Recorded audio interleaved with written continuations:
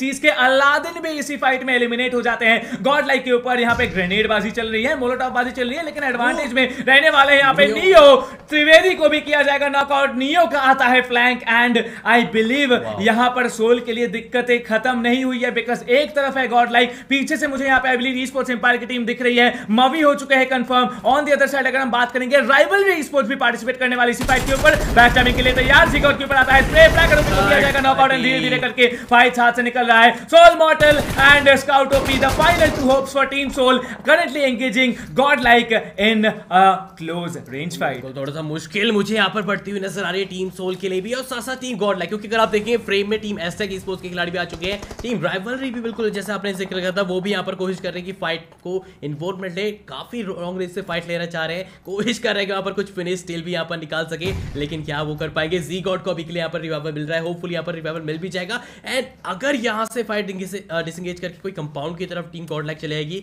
तो बेस्ट रहेगा। अदरवाइज़ बाकी टीम तो एस तो काफ़ी देर से इंतज़ार यहाँ पर कर रही कैप्टन एंड जोनाथन की बात करते हैं, उनका फोकस टीम सोल से हटके अब टीम एस के ऊपर आ चुके हैं और कहीं ना कहीं यहाँ पर फ़ायदा भी मिलता हुआ टीम एस को और टीम गॉड क्योंकि नियो ने वहाँ पर एस के खिलाड़ी को। कर दिया है नॉकआउट और क्लच गॉड भी यहाँ पर अब on fire Clutch God already aggression दिखा रहे थे। लेफ्टवर्ड फ्लैंक से यहाँ पे पुश किया गया था। स्काउट ओपी का कोई बचना यहाँ पे आप कह सकते हैं बिल्कुल नामुमकिन हो चुका है। मॉडल जी गॉड को स्पॉट तो किया है। स्प्रे डाउन करेंगे। कंफर्मेशन के लिए पोशन करना चाहिए। इफ़ आई देयर मैं यहाँ पे कंफर्मेशन के लिए पोशन करता। Mortal versus Clutch God one versus one the most experience player versus the most experience IGL and Clutch God